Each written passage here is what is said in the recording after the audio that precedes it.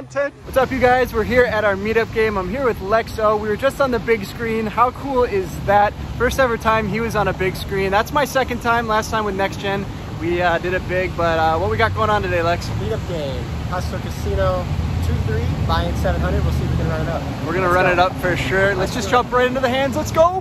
Friendly reminder to always protect your nuts. We sit down at the 2-3 table in for $700. First hand of the night, we look down at Ace Jack of clubs from the button. Early position raises it up to $10. There's one call over to me, and I decide to go for the 3 bet here early on in the session to $35. Small blind puts in the cold call, and both the $10 limpers find a call as well. We're off to the flop. With $143 out there, the flop comes decent 8, 9, 10 with one club. We have the up and down straight draw and we have the backdoor clubs. Additionally, we have two overcards. When the action checks to me in such a multi-way pot on a very connected board, I just decide to check behind. I don't want to bet here and then get raised. I still just have ace high, so I decide to check back and that brings in the nine of hearts on the turn. The action checks to me for a second time and I think we could be going for a bet here. However, in the moment, I decided to check back again for a second time, which brings the queen of diamonds on the river, giving us the straight. Small blind leads out now for $45. The action folds back around to me. The board is paired King Jack is a better straight, so I just decided to make the call early on in the session. I think it's kind of a mistake. I should be going for extra value, making it like $130 and seeing what the opponent does. Nevertheless, the opponent turns over Ace Queen offsuit, so he rivered a pair. We're going to take it down with our straight $223 coming our way. We're up $140 early on in the session. Moving on to the second hand, but it's a little bit different. We have four cards this time. It's a $10 PLO bomb pot, and we're seven ways to a flop. We have King Queen suited, Pocket Queens, and Queen Jack suited as well. I probably just butchered how you read out a four card PLO hand. Either way though, we're off to two boards here. First one comes King 4-9 with two clubs. Top pair with a Queen Kicker, not bad. Second board comes Queen 3 Ace. Bang, we flop second set. Bang! We also have the backdoor spade draw to go along with it on the second board. Middle position bets out now for $25 and the player to my right puts in the call. Not really sure what I'm supposed to be doing in these double board PLO and bomb pots so I just decided to put in a quarter and take another card and that's what happens. The 5 of diamonds and ace of diamonds peel off respectively on both boards. Doesn't really change too much on the top board but the bottom board we now fill up to queens full of aces. It's going to be pretty nice. The opponent has a hand like ace jack, ace 10. We're now looking to win a large pot. Now they have trips on the bottom board. When the action checks to me on the turn, I bet out for $100 and only the player on my right puts in the call. River comes the six of spades on top and the king of spades on the bottom. Not the best card on the bottom as ace king now scoops us. The player to my right now jams all in for $326. Does he have a hand like ace king? What is he doing this here with? Does he just have a hand like ace jack? I'm not sure, but given my inexperience in these double board PLO bomb pots, I have queens full of aces and top pair on the top board. So I put in the call. Unfortunately for us, the opponent turns over ace king 7 deuce Ace King is gonna scoop us. How did he just get there on the bottom board? We're chopping up until that point. I give back all the profits we made in that last hand. We lose that $1,022 pot and we're now stuck $300 on the session.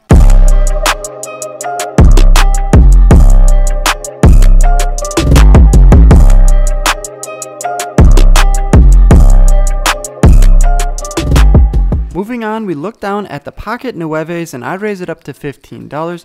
Only the cutoff puts in the call, so we're looking for a favorable flop, which is exactly what we get. 9-7 deuce, bang, we flop top set.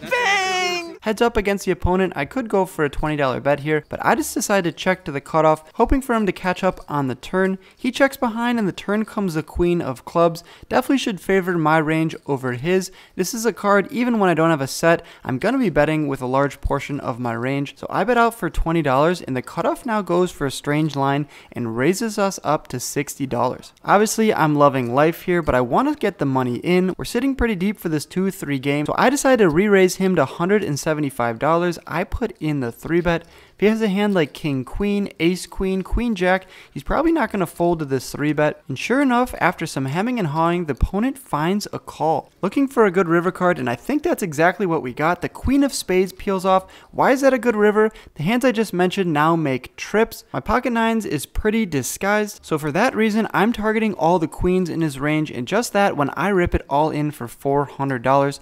I don't think he can fold a hand like ace queen, king queen, queen jack. Any of his club draws are just going to fold for any sizing, so I like my large bet here, looking to get the maximum. Unfortunately, the cutoff does not have a queen. He mucks his cards. We're still going to take down that $385 pot, and we're heading in the right direction.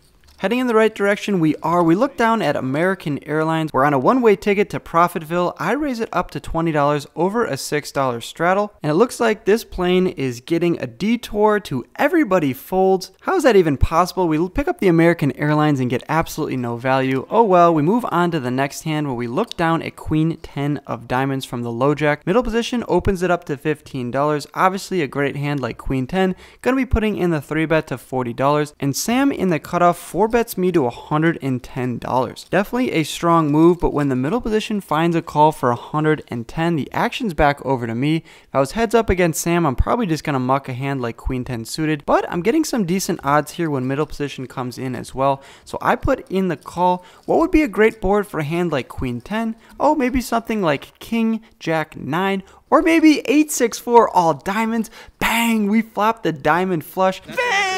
How do we call a 4-bet here with queen 10 suited and flop the flush? When middle position checks it to me, I'm going to check it over to Sam. He's going to be betting here with his kings, aces. Maybe one of them have a diamond. We can go for the check raise. Unfortunately though, Sam checks behind, which is definitely strange. And the three of spades peels off on the turn.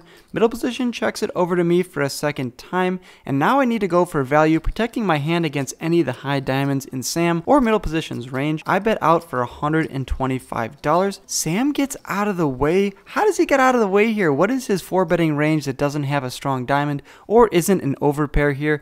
Either way though, middle position gets out of the way as well. Really stoked that I picked up that $335 pot, but how do I not get any more value? I guess that's just how poker goes sometimes.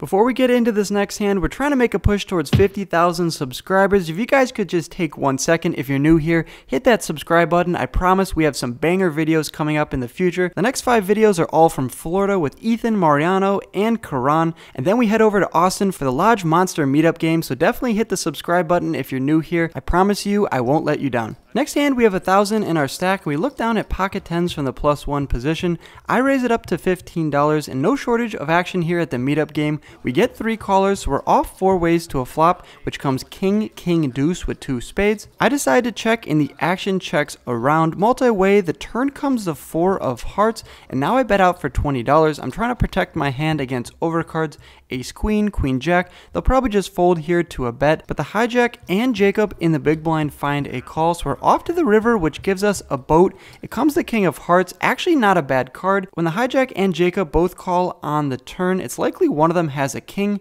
but the king of hearts on the river now makes it more unlikely that they have it. Jacob checks it over to me for a second time, and I decide to go for a little bit more value, targeting all the other pocket pairs that now made a boat. I bet out for $30. Hijack gets out of the way and Jacob now check raises to $100.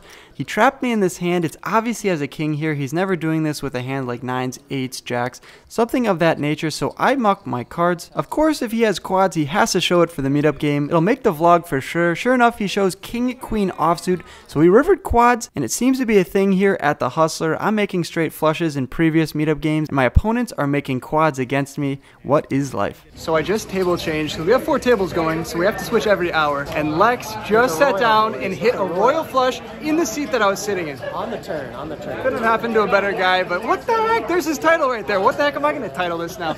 you guys already know. But uh, let's see this hand real quick. Oh my god. Right on the turn. And it wasn't the cheap way either where you have only one of the yeah, cards. I flopped the nuts. Turn the turn Yeah, what a lucky guy. I mean, luckiest guy in poker, I think. $800 now in our stack. I look down at pocket tens from the small blind. The $6 straddle on. Naturally, I raise it up to $17. Daniel in the straddle puts in the call. We're going heads up to a flop, which comes king 7-4 with two hearts. I C-bet my entire range here for $20. I'll have a lot of king X in it, so I think I like this $20 bet. And Daniel puts in the call for $20, and we're off to the turn, which comes the five of clubs. 3-6 and 6-8 now make a straight. I decide to check when he calls us on the flop, and he bets out now for $60. I still have a pair. That's going to be ahead of a lot of his flush draws and straight draws with a pair. So I put in the $60, bringing in the queen of spades on the river. With $200 in the pot, I check it over to Daniel, hoping he checks behind and I can get to a cheap showdown. But that's the exact opposite of what Daniel wants to do. He bets out for $185, a nearly pot-sized bet, and that makes my decision pretty easy here. I just muck my cards. He obviously has a strong king, or if he wants to bet a hand like ace-3 of hearts for a pot-sized bet, congratulations, you're going to get me to fold. We're stuck $300 on the session, but no worries though, Fish Poker invites us upstairs to a beer chugging contest, one that I know I'm definitely going to lose, but I still want to get that participation trophy. Here we go. Two, three. go.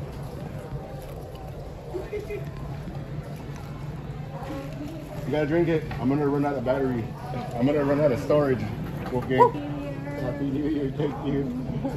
There we go. That's there it is. I always finish it though. The undefeated champion here, Fish Poker. If you guys aren't sub to him, go check him out. Cool LA based guy. We're probably gonna get some tacos later. Haven't played any hands yet together, but we're gonna walk down these stairs and uh, we're gonna mix it up. So uh, yeah, go subscribe to the man. Hell yeah. Yeah. With some liquid courage running through our veins, we pick up Ace King from under the gun and raise it up to $15. Only the player in the plus one position finds a call. We're going heads up to a flop, which comes Queen 6-5 with two diamonds. I have the King of Diamonds in my hand. I'll also be having a lot of Ace Queen, Queen Jack, King Queen type hands, so I like my C-bet here for $20 once again. Nothing exciting to report. The player in the plus one position puts in the call, and we see the deuce of clubs on the turn. We get called on the flop, I decide to slow down here and check it over to him. He checks behind, and that brings in the king of clubs on the river. I think we just made the best hand. We go from bluffing on the flop, checking on the turn, now going for value on the river. I bet out for $15, looking to get thin value from any queen, or maybe a pocket pair like nines through jacks. He puts in the $15, I turn over my ace king. Pretty standard, he mucks his cards, $105 coming our way. But unfortunately though, we're still stuck on the session. What could cheer me up? Oh, I don't know, maybe some cool gear from Hustler Casino. One of the perks about making all these videos for you guys is casinos tend to hook it up when I show them love. Getting an all access pass, a Hustler Casino hat, a bag, and a battery charger definitely make me feel a little bit better about how this session's going. Next hand, I look down at Queen 9 of diamonds from under the gun and I raise it up to $15.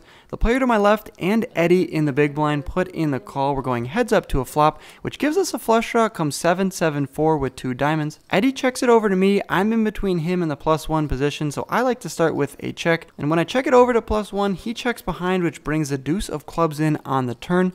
Eddie now leads out for $15 into the two opponents, and I have two overcards and the front door flush draw, so I put in three yellow chips, and we're going heads up to a river, which comes to 10 of clubs. Now Eddie slows down and checks, and I think this is a pretty weak line. He checked the flop, bet small on the turn, and checks the river. I just have queen high here. It's probably not good against a large portion of his range. He's going to have a lot of fours, pocket fives, maybe a deuce on the turn checking back, so I bet out for $45 into the $80 pot, looking to get him to fold a worse hand, but Eddie hems and haws. He's in the tank for a little while. I think he has a marginal hand, but then he finds a call. I turn over my cards. I need to see what he called me with, and he turns over 7-5 offsuit. Eddie, you can't be nit rolling me at my meetup game with 7-5 offsuit. I'm just joking though. He's a cool guy. We'll see a little bit of him later. We rebuy for 200 more dollars, and I look down at pocket tens for the third time tonight. The $6 straddles on and under the gun raises it up to $30. I'm coming in for a three bet here. I'm stuck on the session, and pocket tens is a very good hand. I think it's pretty standard to go for the the three bet, I make it a cool $100. Under the gun puts in the call, we're going heads up to the flop. Flop comes deuce 3-4 with two hearts. I'm out of position, I have to act first. There's 211 in the pot and I bet out for